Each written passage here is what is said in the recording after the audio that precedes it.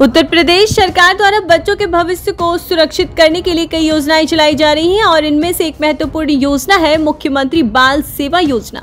इस योजना के तहत राज्य के निराश्रित बच्चों को हर महीने पच्चीस सौ की आर्थिक सहायता दी जाती है, जिससे उनकी शिक्षा और पोषण का ध्यान रखा जा सके।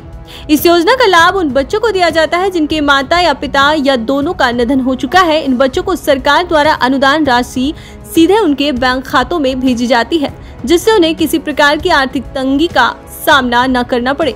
यह राशि हर तीन महीने में उनके खाते में जमा की जाती है। इस योजना का लाभ लेने के लिए बच्चों को आय प्रमाण पत्र की आवश्यकता नहीं होती है। उन्हें केवल अपने स्कूल का पहचान पत्र, बैंक खाता, आधार कार्ड और माता पिता की मृत्यु प्रमाण पत्र के साथ आवेदन करना होता है। यह योजना खासकर उन बच्चों के लिए है जो स्कूल में पढ़ाई कर रहे हैं ताकि शिक्षा में किसी प्रकार की बाधा न आए। मुख्यमंत्री योगी आदित्यनाथ द्वारा शुरू की गई इस योजना का मुख्य उद्देश्य निराश्रित बच्चों को शिक्षा और पोषण में आने वाली चुनौतियों से मुक्त करना है।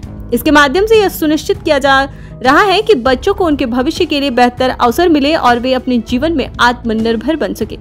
उत्तर प्रदेश सरकार का यह कदम न केवल बच्चों के लिए सहारा बन रहा है, बल्कि समाज में एक सकारात्मक बदलाव की दिशा में भी एक महत्वपूर्ण योगदान है। इस योजना के तहत अब तक कई बच्चों ने लाभ